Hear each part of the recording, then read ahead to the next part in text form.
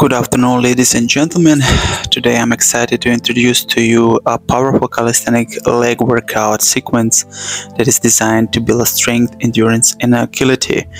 So, this routine requires no equipment and can be done anywhere, making it perfect for all fitness levels. So, let's dive right into the exercises. First of all, you're gonna start with pistol squats.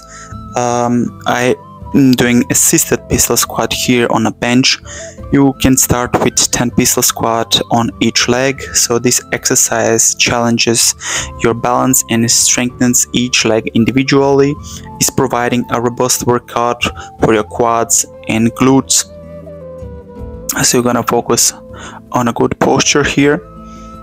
And the second one will be Hannibal squats.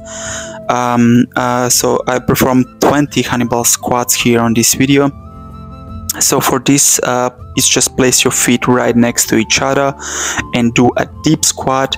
This variation targets your inner thighs and improves overall leg strength. So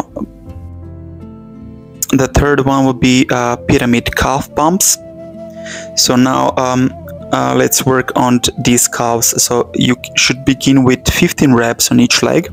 Take a short break and then do 14 reps and continue this pattern down to the single rep. So repeat the same process on the other leg and this pyramid scheme uh, actually ensures a comprehensive calf engagement and endurance building. So take your pace here.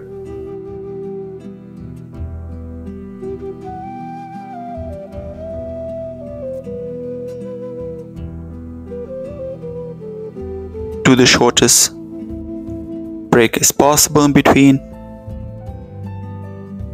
And like I said after finishing one leg when you go down to the single rep you're gonna do immediately the other leg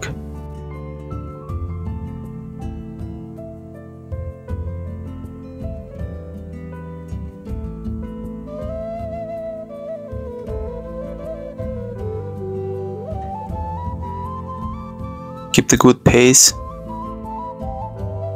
stay involved, and put the pressure on those calves. Yeah. After that, uh, the fourth um, sequence or exercise should be in and out jump squats. So following that, we have in and out jump squats. So this plyometric exercises involves um, jumping from a narrow squat position to a wide squat and back. So it boosts explosive power and cardiovascular fitness. So it's gonna definitely put the pump up.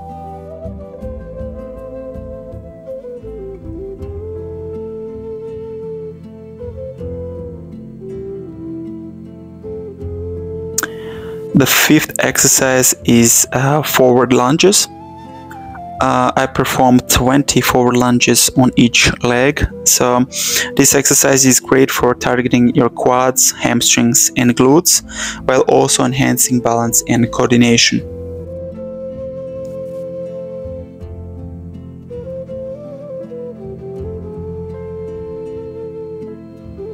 Stay in continuum here. Don't make any breaks until you uh, finished. But if you are more interested in getting um, this workout regimen I have a free template that is also available on my website. And I'm also gonna put the link in the description below for you to download it. It calls 30 day bodyweight beast workout plan